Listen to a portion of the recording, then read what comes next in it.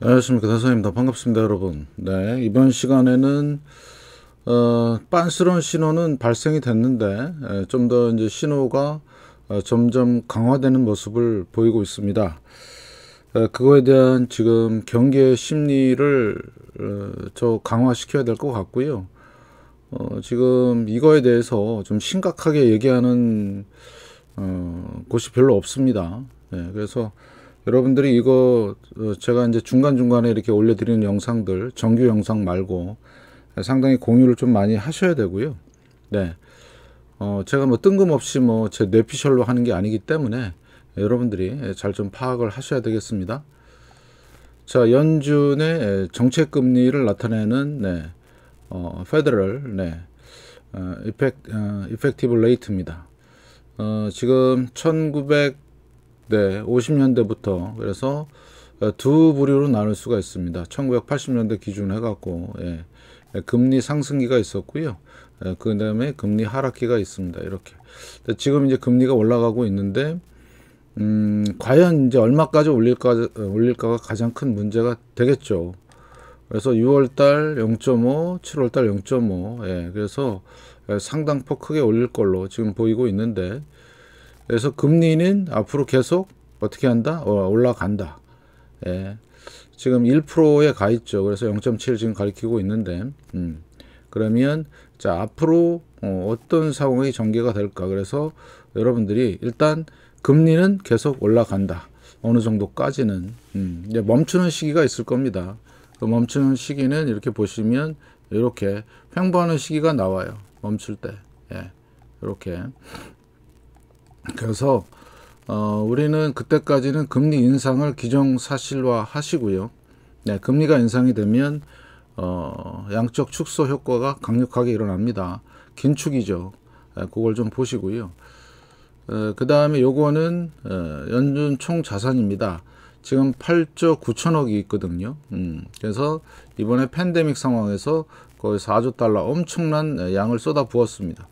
네, 너무 과했죠. 제가 생각해도 그렇고 그래서 지금은 이제 얘를 이제 축소가 들어가는데 얼마나 강력하게 들어갈지는 이제 지켜봐야 되겠죠. 그래서 얘도 어, 금리는 올라가고 어, 유동성은 빨아들인다. 그 상관관계를 잘 이해하시고 앞으로는 엄청난 긴축 발작이 나올 수도 있다. 어, 지금 현재 진행이 되고 있습니다. 잘 좀 보시고요. 대표적인 사례가 네, high yield 정크본드 어, triple C 보시면 딱 맞습니다. 네, 얘 같은 경우는 어, 작년 6월 달 저점을 찍고 서서히 올라오기 시작했고 어, 최근 들어서 급격하게 올라가는 상황이고 좀 살짝 조정을 줬고요. 지금 현재 이제 7일 날짜거든요. 음, 제가 이걸 왜 보여드리냐? 어, 이걸 보여드리는 이유는 제가 매일 오전마다 이걸 설명을 드리죠. 이게 모양이 똑같은 겁니다. high yield 정크 본드. 네. 보시면 올라갔다 내려왔다 올라가죠. 자 올라갔다 내려왔다 다시 올라가고 있죠. 예, 요거는 이제 7일짜기 때문에 한 이틀 정도 뒤에 예, 반영이 됩니다. 그러면 자 하일드 정크 본드에서 만약에 얘가 자 이런 식으로 급등을 한다면 네, 몇 번 있었어요 지금. 지금도 현재 예, 그럴 가능성이 높고요. 음, 자 그래서 어, 여기서도 이제 급등을 해갖고 이런 식으로. 자 경기 침체 침체 침체가 왔고 이번에도 침체가 오는데 어 팬데믹 상황에서 연준이 돈을 풀면서 이 내용도 말씀을 드렸는데 예 이쪽 특히 이 쓰레기 회사채 이 정크들을 다 살려줬어요. 그러면 과연 이번에 양적 축소를 하고 자 금리도 올리고 이런 상황에서 얘를 살려줄까? 라는 퀘스천을 해보죠. 예, 절대 안 살려줄 겁니다. 그러면 어느 회사들만 살릴까? 예, 소위 나가는, 예, 소위 잘 나가는, 네, 우량 회사들만 살릴 가능성이 높습니다. 예. 그래서 제가 항상 여러분의 오전에 이거를 보여드리는 이유가 바로 그겁니다. 예. 그래서 일정 부분 한 61.8% 조정을 주고 다시 튀어 오르고 있다. 그러면 주봉을 보시면 이때가 팬데믹 상황인데 틀리죠. 지금은 서서히 서서히 쫙 올라오고 있습니다. 그 다음에 주봉에서 20주와 120주가 조만간 얘도 골든 크로스 날 겁니다. 예. 그래서 올 하반기쯤에 나겠죠. 어, 그래서 이런 상황들 체크하시고 그 다음에 2016년경 예, 이때도 어, 그런 일이 있었습니다. 이렇게 올라가다가 내려왔는데 앞으로는 자 제가 단언코 말씀을 드리는데 올라갔다 내려올 일이 전혀 없을 것이다. 올라갔다 내려올 일이 전혀 없을 것이다. 왜? 이제는 예, 확실한 디레버리징 예, 정리하고 가야 됩니다. 네, 더 이상 살려둘 여지가 없다. 예, 얘는 CCC 등급은 네, 당장 내일 망해도 전혀 이상하지 않는 회사다. 지금 금리가 10% 가까이 되잖아요. 아니 어떤 어, 어떤 데를 가더라도 10% 주는 데는 없습니다. 그만큼 이쪽에 있는 채권들은 위험하다. 자, 그러면 제가 이거를 이제 말씀을 드리는 이유가 어, 신호가 강화되고 있다. 바로 이런 겁니다. 자, 그러면 조금 전에 말씀을 드린 대로 자, 금리가 올라가면서 채권 가격은 폭락하고 있습니다. 다시 자, 금리가 올라가면서 채권 가격은 폭락을 하고 있다. 자, 그러면 어떻게 폭락을 하느냐? 이때가 작년 9월경부터 해서 시작이 됐습니다. 10월경, 자 11월경부터 해서 폭락의 폭락을 그 다음에 오늘 어, 새벽에 끝난 상황을 봤더니 내려왔다 반등 주고 다시 내려오고 있죠. 예. 그러면 여기 저점을 이탈할 가능성이 높고요. 네. 여기서도 RSI 값이 적용이 됩니다. 여기가 51, 50이었죠. 그 다음부터는 한 번도 못 올라오고 있다. 하락 추세가 계속 이어지면서 RSI 값이 52로 못 올라오고 있다. 중요한 팩트고요. 현재 주봉 상황에서 그러면 지금 팬데믹 상황에 거의 이제 이 부분까지 지금 내려올 어, 태세고요. 자, 자 그다음에 2016년경 여, 기도 이제 붕괴시킬 거고요. 2011년 이게 뭐죠? 네, 유로발 금융 위기. 자, 여기가 뭘까요? 이게 바로 예, 리먼 사태 때입니다. 리먼 사태 때. 그러니까 리먼 사태에 거의 와 있습니다. 자, 그러면 지금 채권 가격이 폭락을 하고 있는 와중에 와중에 자, 여러분들한테 뭘 보여드릴 거냐? 요거를 보여드리려고 합니다. 요거. 예, 이게 뭐지요? 나스닥입니다. 나스닥. 나스닥 주봉입니다. 예. 자, 그래서 이때 자, 나스닥이 예, 고점을 찍고 폭락하는 그 순간 자, 그 다음에 채권도 폭락을 같이 하죠. 괴를 같이 합니다. 자, 유로빨 금융위기 때 내려오고 여기 또 폭락 살짝. 그 다음에 여기 2016년 여기 예, 2016년 여기 폭락, 여기도 폭락, 2018년 여기 팬데믹 상황. 자, 그러면 에, 낙스닥도 역사적 고점을 찍고 얘도 하일드 정크펀드 가격도 네. 아까 뭐라고 그랬죠? 예, 여기서 역사적 저점을 찍고 올라오고 있다. 결국엔 나스닥과 똑같은 방향으로 같이 가고 있다. 자, 그런데 조금 골 때리는 게, 자, 여기가 11월 달이잖아요. 그죠? 11월 달. 11월 달에 뭐가 있었다 그랬죠? 예, 금리 인상 사인이 나왔습니다. 예, QT에 대한 사인이 나왔습니다. 근데 얘는 먼저, 어, 얘는 올라갈 때, 여기 보시면 재밌는 게, 자, 얘 올라갔었죠, 주가? 근데 얘는 내려왔습니다. 먼저.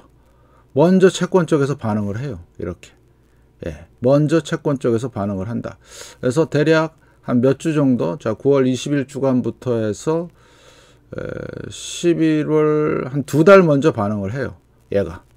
두 달 먼저. 어, 그럼 저점도 먼저 찍겠죠. 음. 자, 그래서 자, 11월 달부터 해서 같이 이제 내려오는 상황이 전개가 되고 있습니다. 예, 반등도 그렇고요. 그죠? 예. 그래서 지금은 똑같이 움직인다. 나스닥과 나스닥과 똑같이 움직이는 상황이고 그러면 아까 제가 썸네일에도 말씀을 드렸죠. 예, 위험 자산, 위험 자산에 대한 자 나스닥과 그 다음에 HYG high yield 정크 본드 가격이 붕괴되는 흐름이 똑같이 진행이 되고 있다. 예, 이거 무시무시한 얘기다. 결국엔 뭐다? 버블이 붕괴되고 있다.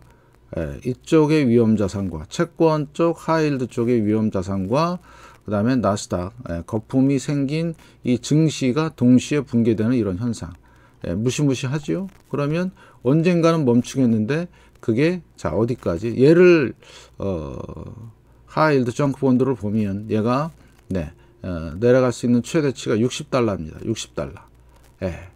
60달러. 그러면 이번에 엄청난 버블이 붕괴되고 그 다음에 좀비 기업, 정크 본드들이 다 붕괴가 되는 상황까지 간다면 자 뭐를 건드리냐?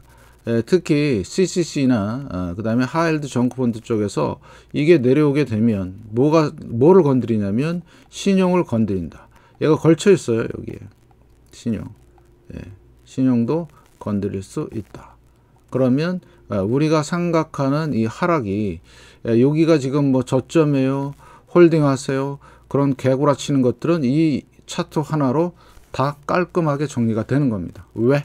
얘는 계속해서 내려올 거기 때문에 이유는 예, 금리 인상과 큐티입니다. 네. 그러면 자 팬데믹 상황 이상 더 내려갈 것이고 딱 어, 리먼 사태까지도 더 내려갈 것이다. 그러면 나스닥은 똑같이 동조한다라면 이 폭대로 내려가면 엄청난 폭락이 기다리고 있다. 지금 강화되고 있는 거예요.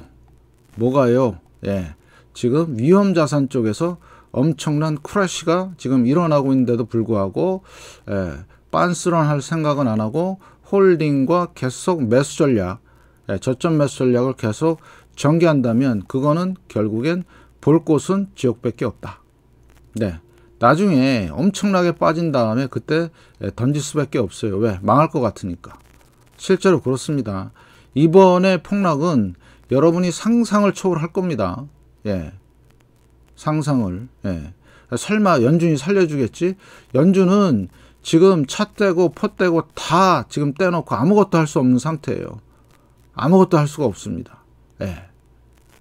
기껏 하는 게 유동성 축소하고 그 다음에 금리 올리는 것밖에 할 수가 없어요.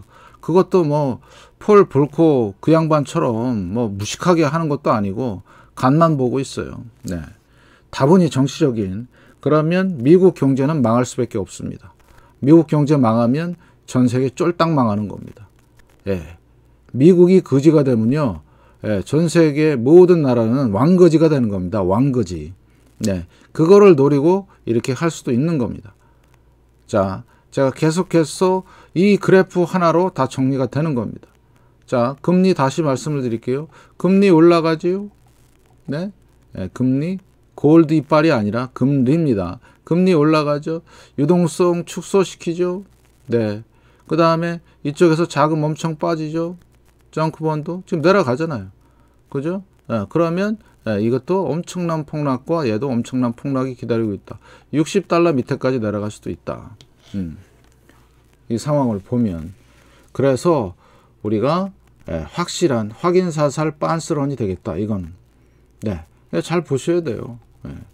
그래서 앞으로 이 흐름에 대한 여러분들이 예, 진짜 적극적인 예, 예, 체크가 필요합니다. 예. 적극적인 뭐가 필요하다? 체크가 필요하다. 지금 그래서 상당히 위험한 지경에 있고요. 현재 RSI 값 30이죠. 보면 제 생각은 이렇게 될 가능성이 높아요. 30 밑으로 내려와서 풍덩 빠지면서 이렇게 헤맬 가능성. 예. 다시 한번 어, 월봉에서 RSI가 풍덩 빠지면서 여기서 헤맬 가능성. 그러면서 여기 있는 주가는 계속 떨어지면서 60달러 밑으로 내려갈 것이고요. 나스닥도 똑같이 똑같이 빠질 것이다. 예. 이렇게 제가 단언하는 바입니다. 자, 요거에 대한 어, 해설은 저밖에 없습니다. 주위에 널리 알리셔갖고요. 경종을 울려주세요. 경종을. 네. 이거는 다른 차원입니다. 정크본드 회사채와 주식시장은 다른 차원이지만 똑같은 방향으로 흘러가고 있다. 에, 망하기 일보 직전이다. 이렇게 여러분이 판단하시면 되겠습니다. 아시겠죠? 그래서 우리의 이정표인 리드, 어, 이더리움과 그 다음에 high yield 정크본드 HYG 그 다음에 나스닥 이런 것들을 여러분들이 예, 잘 판단하시면 좋겠습니다. 아주 중요한 팩트니까 주변에 널리 공유하셔갖고 예, 많이들 예, 반스런 런어웨이 하시기 바랍니다. 예, 진심으로 여러분들한테 간곡한 부탁의 말씀을 드리겠습니다. 많이 알리셔갖고요. 네, 대피하시기 바랍니다. 네. 그래서 어, 간략하게 왜 위, 위험 신호가 더 강화되는가? 그래서 이런 부분들을 이론적 근거와 어, 그 다음에 현재의 연준의 상황을 어, 대입시켜서 여러분들하고 공유하겠습니다. 널리 널리 알려주시고 어, 확실한 빤스런 신호다 이렇게 판단하시기 바랍니다. 자, 이따 장마감 시황, 저녁 시황에 뵙겠습니다. 고맙습니다.